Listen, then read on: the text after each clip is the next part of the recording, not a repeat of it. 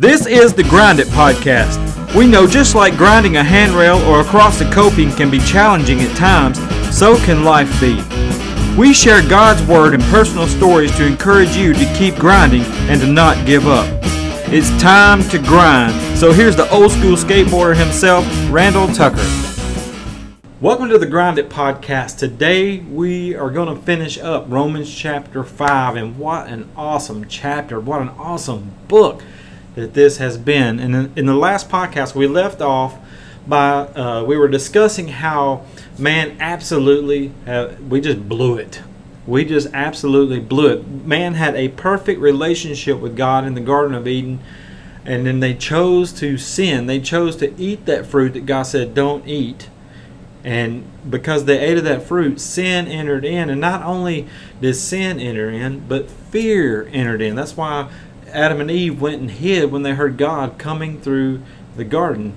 And we learned that how um, that they tried to cover their sin, their shame, and God had to sacrifice an animal to do so. He said there had to be the shedding of innocent blood, and He took the, the skin of that animal that he sacrificed and, and made a covering for their shame and for their sin. And so it was not long after that that God banned them uh, from the Garden of Eden. They were now separated from God because of sin. That relationship was never the same. Not until Jesus died on the cross and, and while we were enemies, while we were sinners, Jesus dies on the cross, he sheds his innocent blood, and because he did so, if we put our faith in Jesus, then that relationship has been restored, just like it was in the Garden of Eden.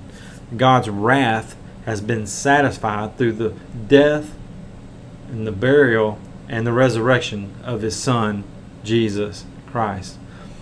So when when God killed that animal in Genesis, that would be a precursor to what God's going to do for us through Jesus, his very own son. And how Jesus is going to die on that cross for our sin. He did die on that cross for our sin.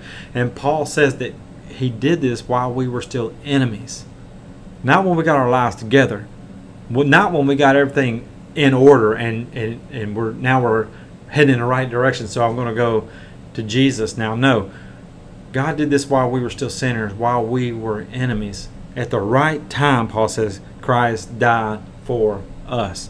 And through his sacrifice, Jesus has reconciled us back to God. He has made us friends again with God. He has restored that relationship with God once again.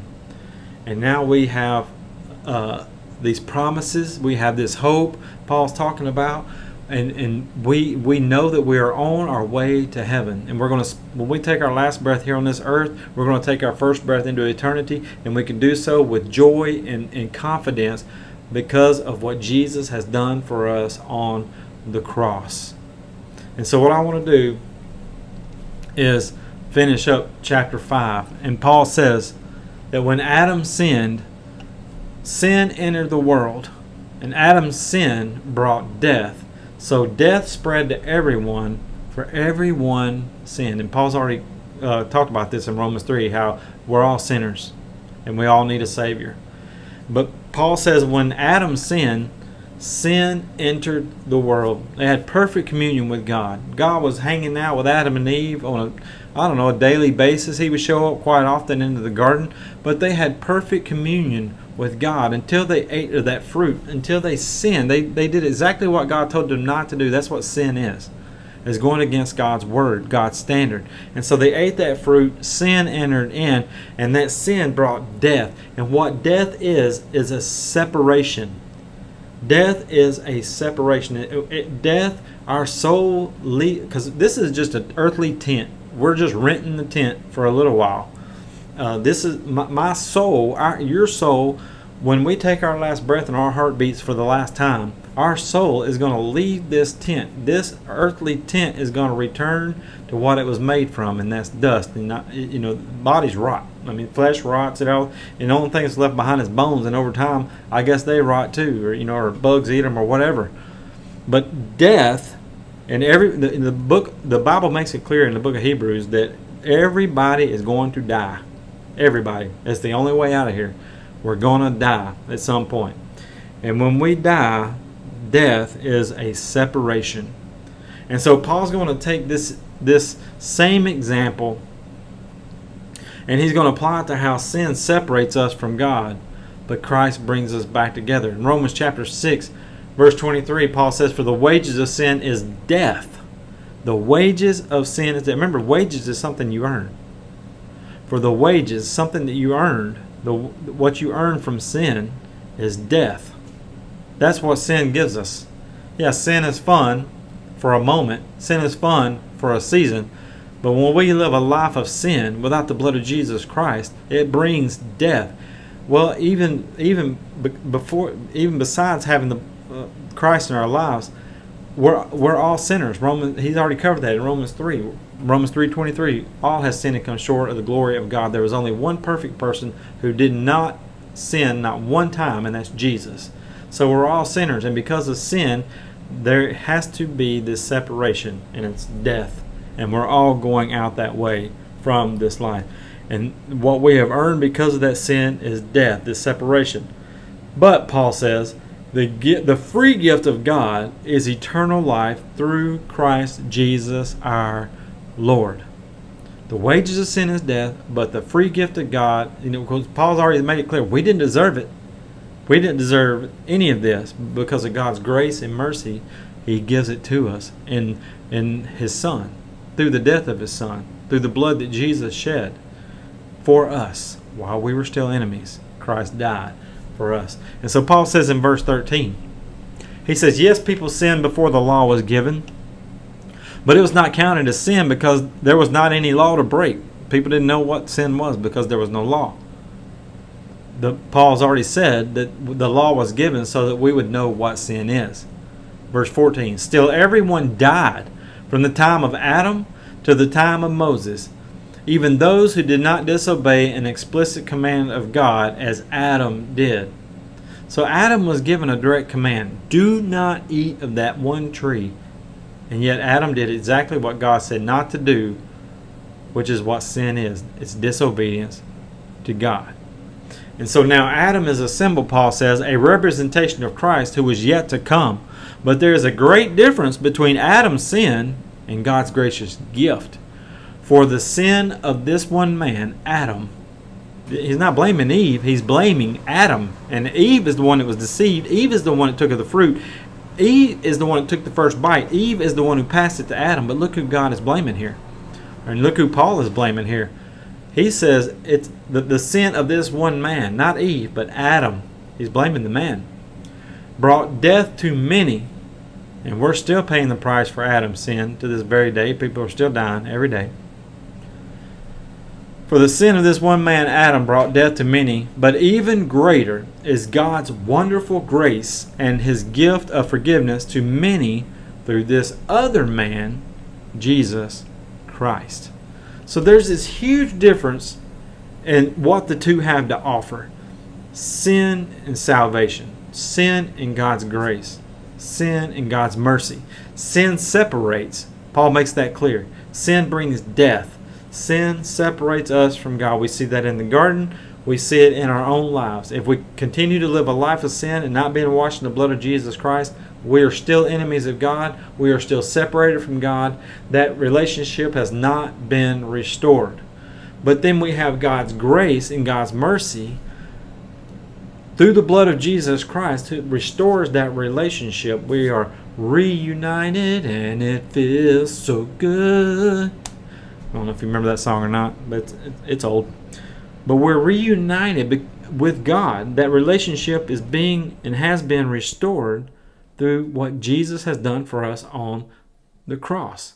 So sin separates, but God's grace and His mercy, it unites. That is the heart of forgiveness. And that's what forgiveness does. Forgiveness, it unites, and unity is the heart of the Father. I'll say that again. Forgiveness unites, and unity is the heart of the Father. We see this all throughout the Bible. God longs to have a relationship with his people. He never intended for his people or for anybody for that matter, uh, for that matter to be separated from him. He always wanted unity. He longed for unity with his people, with us, even today. And that's why that God had to come up with a plan in order to redeem or buy back man because God, he knows from the beginning to the end. He he he knows the past, he knows the present, and he knows the future. We only know the the past and the present. God sees it all. And God knew that man was going to blow it. And so he already had a plan in place to fix it.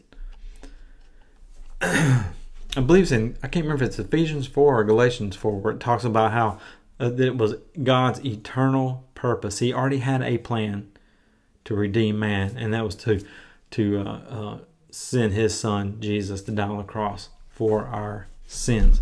Paul says in verse 16, as a result of God's gracious gift, very different from the result of that one man's sin. For Adam's sin led to condemnation, but God's free gift leads to our being made right with God, even though we are guilty of many sins. So the results are this. Uh, well, let me, let me back up.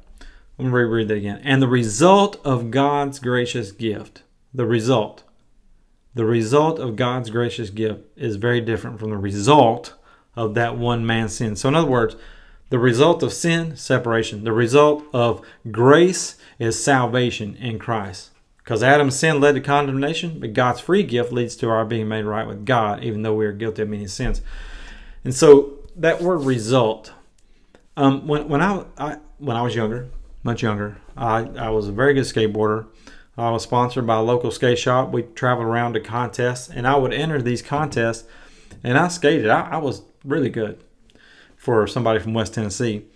And I would watch the other skaters do their run, and uh, you know, then I would do my run, and there'd be some more skaters after me, and I, would just watch everybody. I, I wanted to, to, you know, see how good they were, see how my competition, you know, even in practice, I would watch them. I just wanted to kind of size them up and see what, you know, what kind of run I needed to put together, what tricks that I needed to do. And then I, then I would put this plan together and go through my routine and, and, and in the contest.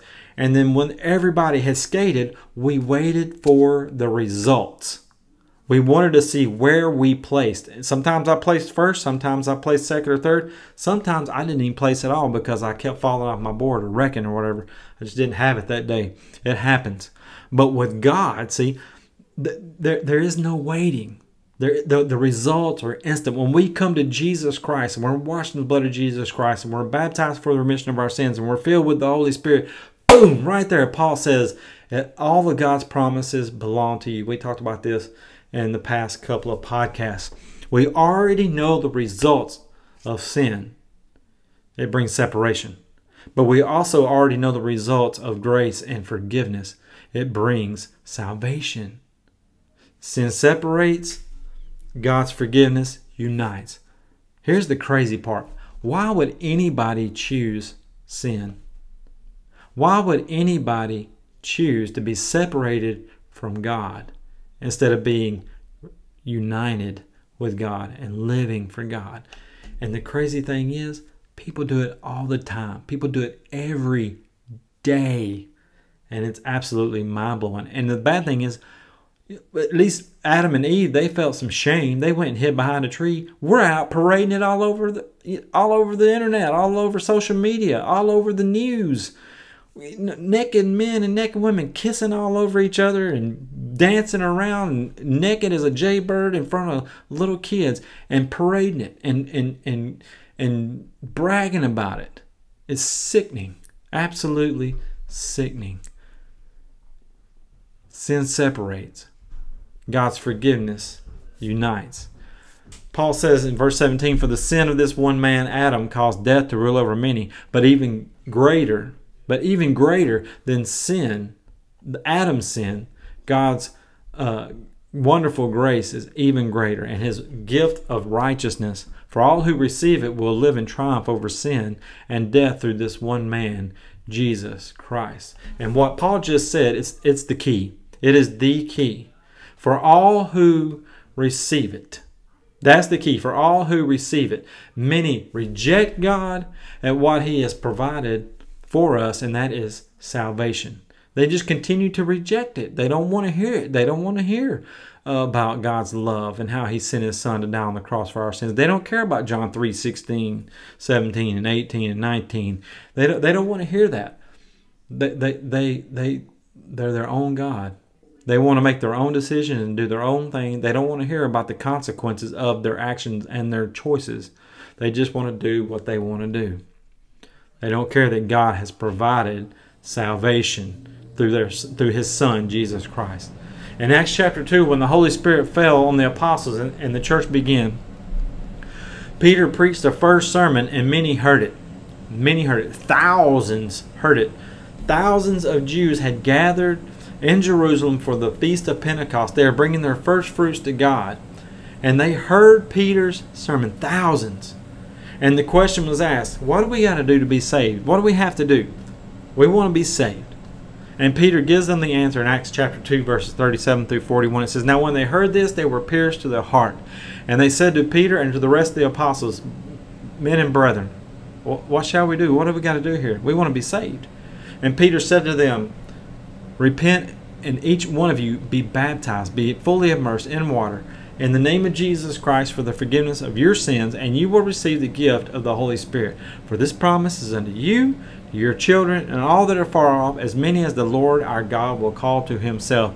And you know what? God is still calling people to this day. He may be calling you right now for salvation.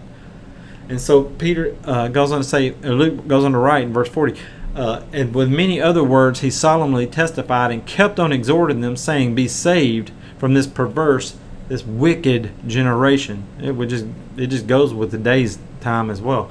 So then those who had received Peter's word, thousands upon thousands, heard the message.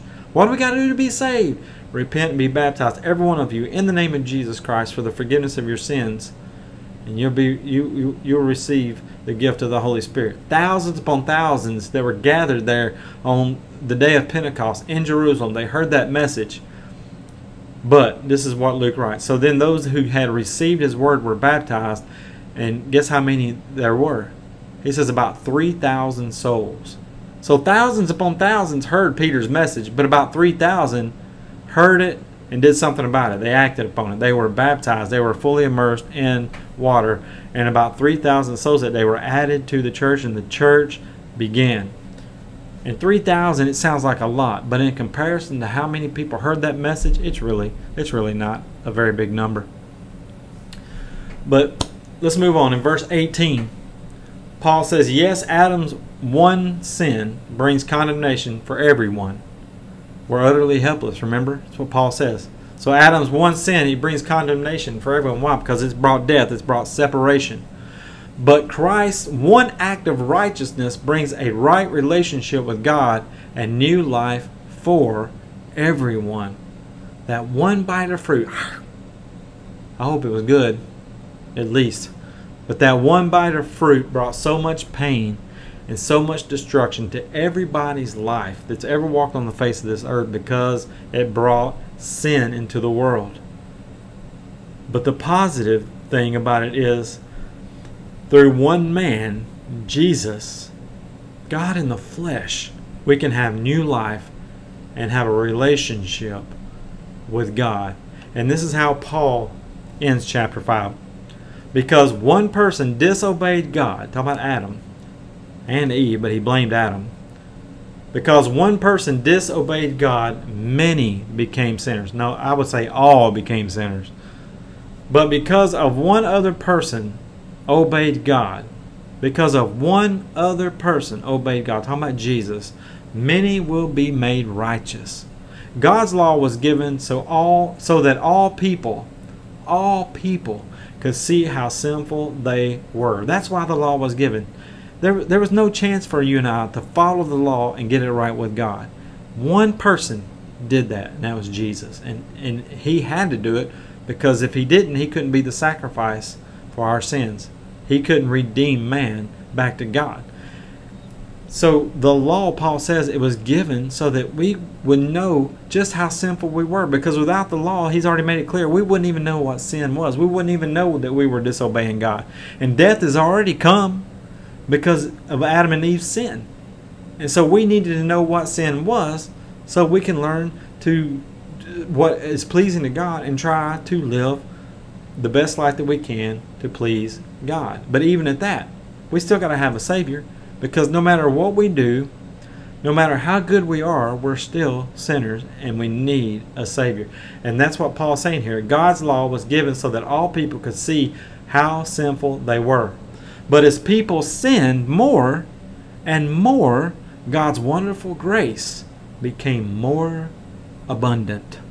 So just as sin ruled over all people and brought them to death, now God's wonderful grace rules instead giving us right standing with God and resulting in eternal life through Jesus Christ our Lord. I'll read that one more time. So just as sin ruled over all people and brought them death, it brought sin brought separation and it separated us from our relationship with God. Now God's wonderful grace rules instead. God's grace. God's redemption at Christ's expense. God's grace rules instead. Not sin, not the separation, but God's grace rules instead, giving us right standing with God and resulting in eternal life through Jesus Christ our Lord. The only I'm going to say this in, in closing one more time. The only way that we can have salvation is through Jesus Christ and the blood that He shed on Calvary's cross and putting our faith in Him, putting our trust in Him, and living for Him. Not our works, not our not our the law, not the circ not circumcision, nothing that we can do will earn us a right relationship with God. The only thing that we can do is put our faith in Jesus Christ. And when we put our faith in Jesus Christ, we're baptized for the remission of our sins, and we're filled with the Holy Spirit, boom, we are automatically in the kingdom. We are automatically given the promises of God, and it brings joy, it brings confidence, and, and we learn to endure when storms come, and we hold to the hand of Jesus when life gets hard, and we keep putting one foot in front of the other. Can't remember what Christmas cartoon that is, but it's a song in one of those Christmas cartoons about putting one foot in front of the other. Maybe the, I think it was the elf, the little uh, the little elf on Rudolph. Um, talk about putting one foot in front of the other. But that's what we got to do. We got to endure. And we keep holding to the hand of Jesus. And when we take our last breath upon this earth, we take our first breath into eternity and we'll be with Him for eternity. God promises it that while we were still sinners, Christ died for us.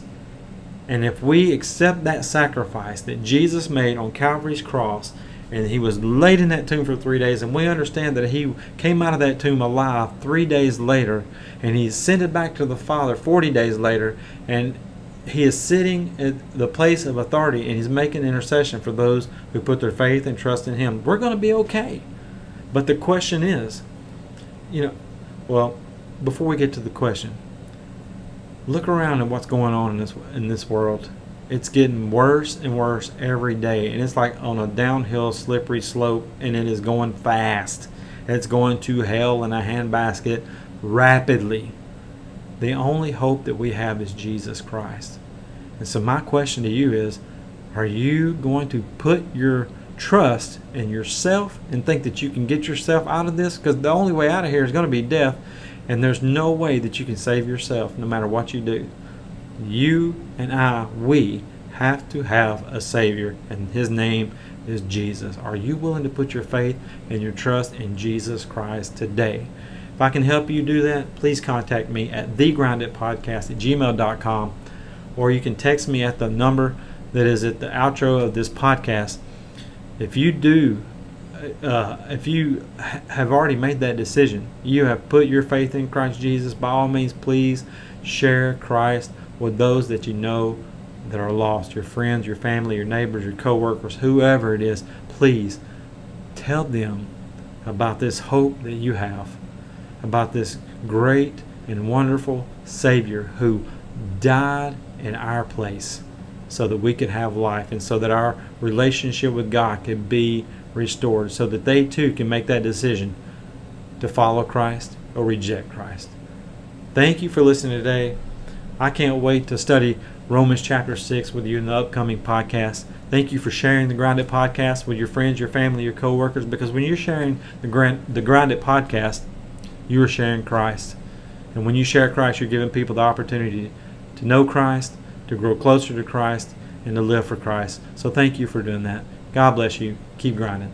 Thanks for listening to the GrindIt Podcast. If we could pray for you or encourage you in any way, please email us at thegrinditpodcast at gmail.com or you can text us at 865 418 2824. If you're watching on YouTube, please click like and subscribe and you'll be notified about new episodes. If you're listening on an app, leave us a five star review, but most importantly, share the GrindIt Podcast with a friend. God bless you and remember, keep grinding.